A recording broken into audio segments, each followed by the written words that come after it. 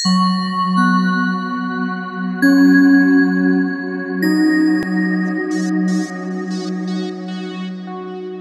Everyone मैं हूँ शबनम और आपका मेरे चैनल जग जायका में इस्तकबाल है। आज मैं आपके लाई हूँ सत्तू के पराठे की बनाने की रेसिपी गर्मियों का मौसम चल रहा है। गर्मी में हम लोग सब लोग हेल्दी खाना पसंद करते हैं और सत्तू हमारी हेल्थ के लिए बहुत बेस्ट ऑप्शन है। क्योंकि गर्मी में हमें फ़ायदा पहुंचाता है। तो चलिए, आज हम आपके लिए बना रहे हैं बहुत ही टेस्टी और इजी वे में सत्तू के पराठे की रेसिपी जो कि बहुत ही आसान है और खाने में बहुत ही टेस्टी होते हैं। चलिए, अब हम देख लेते हैं हमें इसे बनाने के लिए क्या क्या चाहिए। मैं मैं यहाँ पे 10 से 12 तक पराठे बनाऊँगी तो उसी हिसाब से मैंने सारा सामान लिया है। यहाँ मैंने आटा लिया है, जिसमें मैं थोड़ा सा नमक डाल देती हूँ। ये आटा जो मैंने लिया है, वो गेहूँ का नॉर्मल आटा है। इसमें मैंने थ्री फोर चम्मच नमक डाल दिया है। और थोड़ा सा रिफाइंड ऑयल डाल देते हैं। आप चाहें तो देसी घी का भी इस्तेमाल कर सकते हैं। यहाँ मैं दो चम्मच इसमें रिफाइंड ऑयल डाल रही हूँ। इससे हमारे जो पराठे होते हैं बहुत ही सॉफ्ट बनते हैं और खस्ता बनते हैं। तो चलिए अब हम इसे अच्छे से मिक्स करते हुए एक डो तैयार कर लेते हैं। डो हमें हार्ड नहीं चाहिए, थोड़ा सा सॉफ्ट ही होना चाहिए, लचीला होना चाहिए, ताकि हमारे पराठे बिलते वक्त आराम से बिल जाए। चलिए मैं इसे अच्छे से मिक्स कर दिया है तेल को और नमक को। इसे नॉर्मल पानी का इस्तेमाल करना है, कोई वार्म वाटर इस्तेमाल नहीं करना है। और नॉर्मल पानी का इस्तेमाल करते हुए हम इसका सॉफ्ट डो तैयार कर लेंगे। पानी हमें एक साथ नहीं डालना है जैसे नॉर्मल हम रोटी का आटा गूंदते हैं वैसे ही गूंदना है। बस हमें थोड़ा सा सॉफ्ट तैयार करना है आटा। अगर आपने हमारे चैनल को सब्सक्राइब नहीं किया है हमारे चैनल को सब्सक्राइब कीजिए और हमारी आने वाली नई वीडियो की नोटिफिकेशन के लिए बेल आइकन को प्रेस करना नहीं भूलिएगा। ये देखिए हमारा डो तैयार हो चुका है। इसे हम रेस्ट के लिए रख देते हैं लगभग पंद्रह से बीस मिनट तक के लिए। तब तक हम इसकी स्टफिंग तैयार कर लेते हैं। यहाँ मैंने सत्तू लिया है। सत्तू आपको ऐसा पैकेट में मार्केट में अवेलेबल होता है। आप किसी भी कंपनी का ले सकते हैं, या फिर जो आपके पास भुने चने होते हैं, उसको बारीक पीस के उसका सत्तू बनता है। ये मैंने चने का सत्तू लिया है।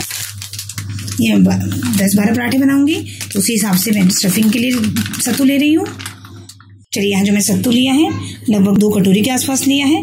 आप अपने हिसाब से जितने पराठे बना रहे हो, उसके हिसाब से सत्तू ले लीजिएगा। चलिए, अब इसमें कुछ सामान हम मिक्स कर देते हैं। यहाँ मैंने बारीक कटा हुआ लहसुन लिया है। इसको मैंने बिल्कुल बारीक चॉप किया है।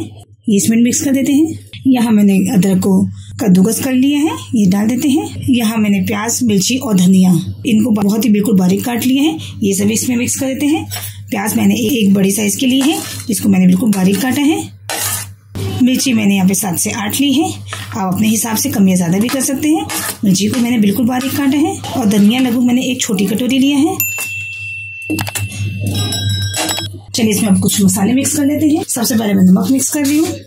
यहाँ मैंने थ्री फोर चम्मच नमक लिया है, ये मैं इसमें डाल देती हूँ। यहाँ मैं मैंने कलौजी ली है, आधा छोटे चम्मच, ये इसमें डाल देती हूँ। इसे मगरेला भी कहते हैं। थोड़ी सी सौंफ डाल देती हूँ इसमें। ये मैंने आधा चम्मच ली है। अजवाइन मैंने आधा चम्मच ली है। इसको मैं हाथ से थोड़ा सा क्रश करके डलाती हूँ, ताकि इसका फ्लेवर अच्छा हो। ये मैंने आधा छोटे चम्मच ली है। अब इसमें हम अम का जार डाल देते हैं। आम के अचार का हमें यहाँ पे मसाला डालना है, क्योंकि इसमें से इसका बहुत अच्छा फ्लेवर आता है, और ये सत्तू के फ्लेवर को इन्हेंस करता है। ये एक्चुअली बिहार की रेसिपी है तो ट्रेडिशनली इसमें आम का अचार का ही मसाला डाला जाता है। अगर आपके बाई चांस आम के अचार का मसाला नहीं हो तो आप किसी भी अचार का मसाला डाल सकते हैं।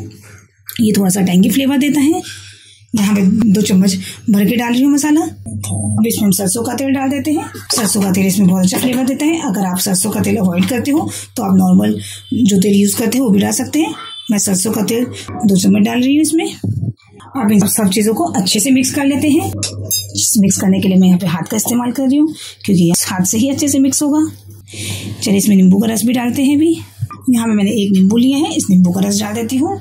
अगर आपके पास नींबू नहीं हो तो आप अमचूर पाउडर का भी इस्तेमाल कर सकते हैं। इसमें नींबू का रस इससे डाल देते हैं। और रस मैंने मिक्स कर लिया है। अब इन सब चीज़ों को हम अच्छे से मिक्स कर देते हैं। इसमें हमें पानी का इस्तेमाल बिल्कुल भी नहीं करना है मिक्स करते हुए। मिक्स करने के बाद इसका नमक, मिर्च टेस्ट कर लीजिएगा। मैं नमक, मिर्च इसमें थोड़ा सा ज़्यादा ही होना चाहिए, तभी परफेक्ट टेस्ट आएगा आपके पराठों में। चलिए हम इसको अच्छे से मिक्स कर दिया है। चलिए अब हम इसके पराठे बनाना स्टार्ट करते हैं। पंद्रह से बीस मिनट हो चुके हैं। आटा भी हमारा एकदम सॉफ्ट हो गया है। इसको थोड़ा सा और मल लेते हैं। चलिए इसमें से एक लोई लेते हैं हम। आप पराठे बड़े या छोटे साइज़ के किसी भी तरीके के बना सकते हैं। लेकिन जो सत्तू के पराठे बनाते हैं। इसे थोड़ा सा मोटा ही बनाया जाता है। ये देखिए, मैंने इसे एक लोई तैयार कर ली है।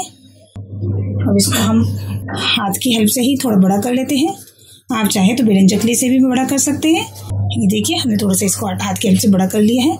अब इसमें हम सत्तू की स्टफिंग डालते हैं। मैं इसे कटोरी की तरह बना लिया है। अब इसमें मैं दो चम्मच के आसपास स्टफिंग डाल रही हूँ। अब हमें इसे चारों तरफ़ से अच्छे से सील कर देना है। इसको हमें अंदर से स्टफिंग को प्रेस करते हुए सील करना है। और उसे ऊपर से रोल कर देना है ताकि हमारा स्टफिंग बिल्कुल भी ना खुले। ये देखिए, हमारा पेड़ा तैयार हो चुका है। अब इसको हमें मोटा बेलना है थोड़ा सा। आप चाहे तो सत्तू के पराठे अपने हिसाब से बड़े या छोटे किसी भी तरीके से बना सकते हैं। चलिए मैंने थोड़ा सा आधा डाल लिया है ताकि हमारा पराठा अच्छे से मिल जाए। इसको हमें सॉफ्ट हाथों से बेलना है, ताकि हमारा पराठा बिल्कुल भी ना फटे। अगर आप पराठा इसको पतला करेंगे तो स्टफिंग आपकी बाहर निकल जाएगी। आप अपने हिसाब से इसे पतला या मोटा कर सकते हैं। देखिए, मैंने पराठा बना लिया है, ये मैंने मीडियम साइज़ का बनाया है। नॉन स्टिक पैन भी गर्म होने रख दिया था। आप चाहे तो आयरन का तवा का भी इस्तेमाल कर सकते हैं। अब जो हमने पराठा बनाया है, वो इसमें डाल देते हैं अब इसी तरीके से हम दूसरा पराठा भी बना लेते हैं, जब तक ये सीख रहा है। ये देखिए, हमने एक लोई ले ली है। इसको हाथ में थोड़ा सा आटा लगा के हम बड़ा कर लेते हैं।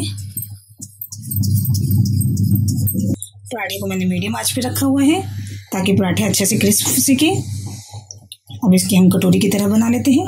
और इसमें स्टफिंग रख लेते हैं। स्टफिंग हमें अच्छे से भरनी है, ताकि सत्तू के पराठे का टेस्ट अच्छा आए। अब हम इस स्टफिंग को अंदर प्रेस करते हुए इसको बंद कर देंगे। अंदर प्रेस करते हुए भरेंगे।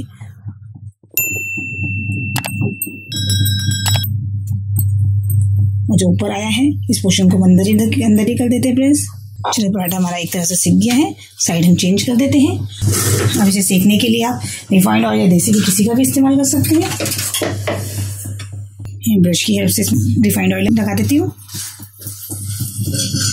इसकी साइड को चेंज कर देते हैं।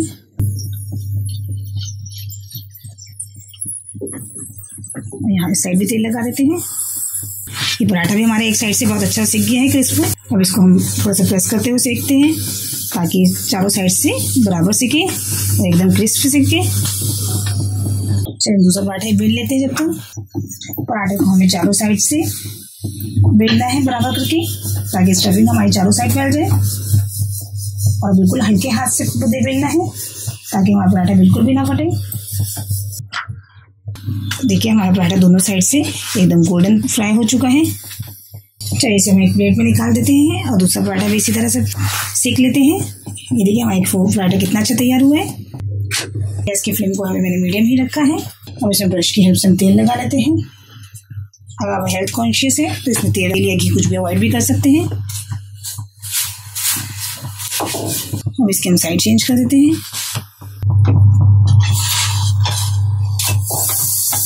गैस की फ्लेम को हमने मीडियम ही रखा है यहाँ पर। क्योंकि हाई फ्लेम पे जल्दी सीख जाएँगे, लेकिन अच्छे से क्रिस्प नहीं होंगे। इसको अच्छे से प्रेस करते हुए हम सीखते हैं। ये देखिए, पराठा हमारा कितना अच्छा फूल रहा है। अगर हमारा पराठा कहीं से फटा हुआ नहीं होगा तो अच्छे से फूलेगा। लेकिन पराठा फट रहा है तो भी कोई परेशान होने की बात नहीं है, क्योंकि इससे टेस्ट में कोई चेंज नहीं आएगा। चलिए, इसको भी हम प्लेट में निकाल लेते हैं। उसके बाद हम सारे पराठे ऐसे बना के फिर आपको डिश आउट करके दिखाते हैं। ये देखिए हमारे सत्तू के पराठे एकदम तैयार हो गए हैं, जिसे मैंने सर्व किया है कच्ची आमी और पुदीना की चटनी के साथ और दही के साथ। ये बहुत ही टेस्टी लगते हैं। चलिए, मैं आपको एक तोड़ के दिखाती हूँ कि कितने अच्छे से इसमें सत्तू फिल है। ये देखिए, इसमें सत्तू एकदम बहुत अच्छे से फिल है, जिससे इसका टेस्ट बहुत ही अच्छा आता है। आप भी मेरी रेसिपी को फॉलो करके बनाइए और बिहार की फ़ेमस रेसिपी सत्तू के पराठे का लुत्फ उठाइए। ये हेल्दी होने के साथ साथ टेस्टी भी बहुत होते हैं सत्तू के पराठे इतने टेस्टी होते हैं कि एक बार आप बनाएँगे तो बार बार इसको बनाना पसंद करेंगे। और ये बच्चों बड़ों सबको ही बहुत पसंद आते हैं। आप ये सर्व कीजिए सलाद के साथ या रायते के साथ। और अगर आपको मेरी रेसिपी पसंद आई हो तो आप मेरी वीडियो को लाइक कीजिए मेरे चैनल को सब्सक्राइब कीजिए और आने वाली नई वीडियो की नोटिफिकेशन के लिए बेल आइकन को प्रेस करना ना भूलें। आप कमेंट सेक्शन में हमें ज़रूर बताइएगा कि आपको मेरी रेसिपी कैसी लगी। और आप जब इसे ट्राई कीजिएगा, तब भी अपने कमेंट ज़रूर मेंशन किया कीजिए। आपके जो कमेंट्स होते हैं, वो आपका प्यार होता है मेरे लिए एक मोटिवेशन होता है। चलिए जल्द ही मिलते हैं नेक्स्ट रेसिपी के साथ। तब तक के लिए अल्लाह हाफिज।